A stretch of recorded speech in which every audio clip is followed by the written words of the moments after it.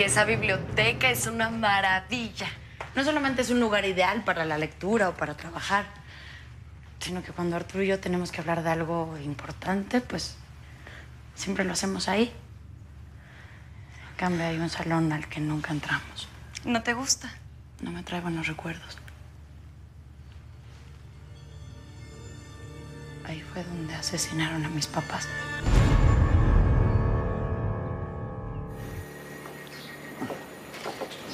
¿Qué hubo? ¿Y tú dónde andabas? Pensé que en cuanto vieras al doctor no te ibas a retachar luego, luego para contarme qué onda con Pablito. ¿Sí lo viste? Sí, pero me tardé porque también estuve buscando otro trabajo. ¿Otro trabajo para qué? Es que necesito mucho dinero. ¿Por qué? Johnny, vamos a tener que ser muy fuertes. ¿Tú qué traes, eh?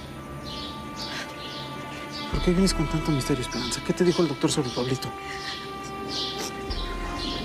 Que el tratamiento que necesita Pablito cuesta mucho dinero.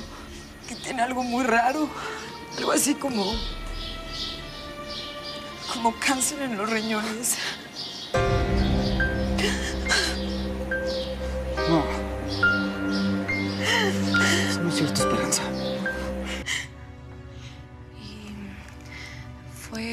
Asalto o qué pasó? Acusaron a mi padre de estar involucrado en un fraude. Y, por supuesto que no era cierto, que él era inocente. Pero el hombre al que habían defraudado, sin averiguar quién era el culpable, vino aquí como loco y se encontró y disparó a mi papá. Al ver a mi papá herido, sangrando, mi mamá enloqueció de dolor. Así que trató de detener al asesino para que no siguiera disparando y. Y también. Y también ella murió. Papá se le fue encima al hombre. Pero lo único que consiguió fue otro disparo.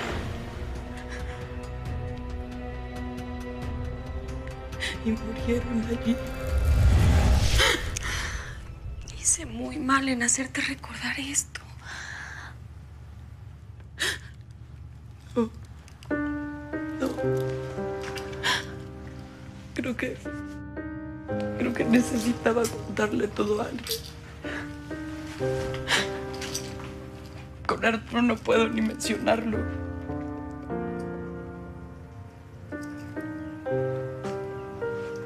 Yo necesito hablar. Entonces, haces bien en sacarlo. Pero me duele mucho.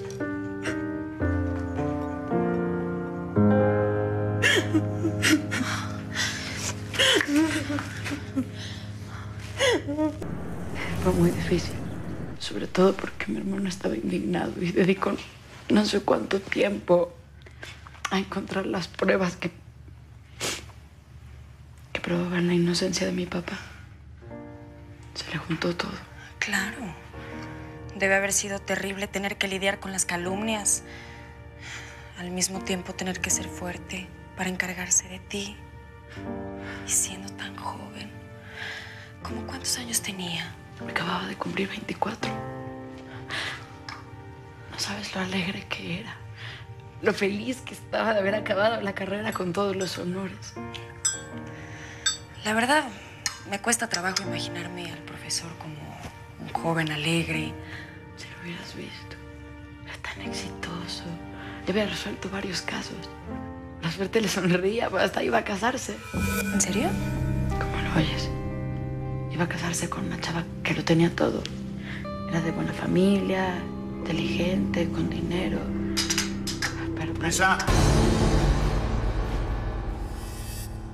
Arturo, estaba tomando un café con Teresa. veo que están platicando como buenas amigas. Sí, comimos juntas y ahora platicábamos de... de nada importante. Ay, no digas eso, Luisa. El profe va a pensar que estoy perdiendo el tiempo hablando de cosas no importantes. Y él me prohibió hacer eso. Pero bueno, eso sí, arreglé los archivos que me pidió y ya leí los expedientes como me dijo. Bueno, yo, yo los dejo trabajar, ¿eh? Y luego seguimos hablando, Luisa. ¿Tan pronto ya leíste todo? Sí, lo hice anoche, profesor. La verdad es que no podía dormir. Estuve en la cama dando vueltas y vueltas, pensando en usted y... En su libro, sí. em, también ya lo terminé de leer. Pero va a decir que soy una tonta porque tengo muchísimas preguntas que hacerle.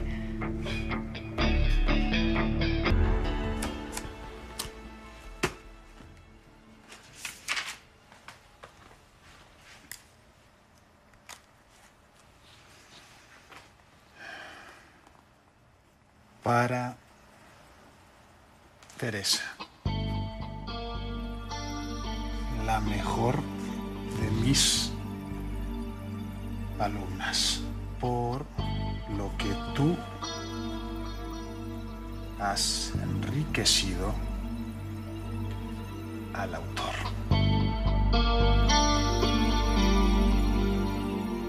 Yo no sé cómo, viejo, pero tenemos que ayudar a la Nachita. Porque, pues aquí en la vecindad somos como familia. Y la familia está para ayudarse unos a otros, ¿no? ¿Te acuerdas del aumento que me prometió el dueño del taller? Pues ya este mes me va a pagar más. Pero ¿qué tal si hacemos como que no me aumentaron y ese dinero que sea para Pablito? Por eso te quiero, Armando. Eres tan bueno. Y yo voy a hablar con mis clientes para ver si me pueden pagar un poquito más. Y que también eso sea solo para Pablito. Con todo lo de Pablito se me pasó decirte, pero ahora que hablas de vestirte, fíjate que pasó tu amiga, la señorita Aurora. Y te dejó unas cosas. ¿Qué cosas? Lo que está ahí en esas bolsas. Porque ahora que se va de viaje, pues hay mucha ropa que ya no usa y como hay alguna que a ti te gusta mucho, pues vino a regalártela. Qué buena muchacha, ¿no? Limosna. Qué vergüenza que tenga que andar vestida con los desechos de otra. Seas malagradecida, Teresa. Lo que te trajo Aurora no es limosna y nosotros no podemos darte más dinero. Aprende que no siempre se va a hacer tu voluntad. No sé por qué se enoja mi mamá. Yo ni siquiera sabía que habías ofrecido lo que te aumentaron de tu sueldo para la curación de Pablito. Hija, Pedro y Nachito tienen mucho menos que nosotros y más gastos. Y con tanto hijo como no. Ahora lo del cáncer y... ay. Bueno, pues ya ni modo. Ya veré cómo le hago. Mira, no te apures. Tú nomás dime cuánto necesites. Y yo veré cómo le hago. Pero te juro que te lo voy a dar cada mes. Papi. Gracias. Gracias, papi. Su dedicatoria me conmovió, profesor. Ojalá y algún día yo merezca estas palabras tan bonitas. Las mereces, puedes estar segura. Sinceramente no lo creo. Pero voy a esforzarme para estar siempre a la altura de lo que usted espera de mí y no decepcionarlo.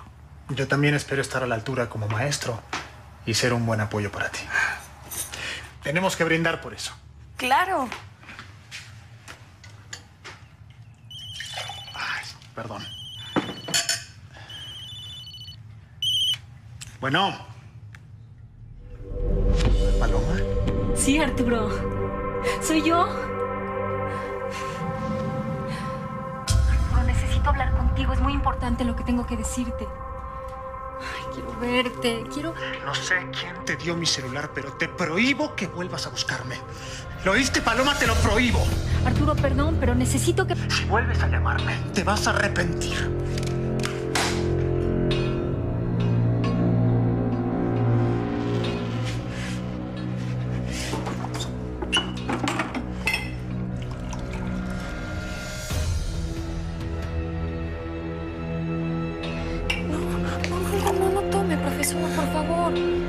Mire, yo no tengo idea de quién sea esa mujer que le llamó ni, ni qué le haya hecho, pero cualquier cosa que sea, no vale la pena que usted se ponga así. Por favor, no se angustie de nada. Piense en lo mucho que vale y en las personas que lo rodeamos. Usted no está solo. Tiene a Luisa que siempre lo ha apoyado incondicionalmente y también me tiene a mí.